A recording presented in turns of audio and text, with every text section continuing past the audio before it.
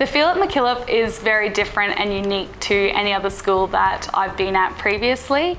It is very homely, I would describe it. We have high expectations of our students, but that doesn't make it feel mean or strict in any way. It in any way feels more like love because we want the best for our students and the students know that their teachers have them at the centre of everything they did. So they also have a lot of love for it. The feeling that I get when I walk into the school grounds is that it's, it's welcoming and it's very inviting.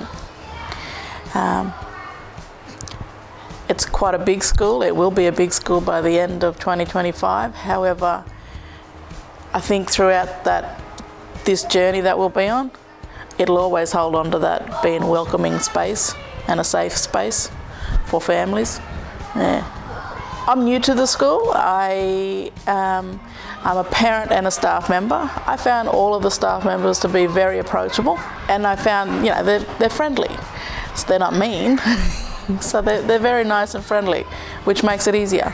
Um, for me, it's joy to work here, truly. Um, working with the, the, wonderful kids that we have, the staff that we have, the space that we have, um, it's a truly joyous um, feeling to be a part of such a endeavour. Comes with its challenges, but overall at the end of the day, I, I, always leave with a smile on my face and like I've accomplished something. We're really fortunate from prep right the way through to our grade sevens. There's not a teacher here who doesn't give everything that they've got every day, every minute of every day, and who isn't here for the students.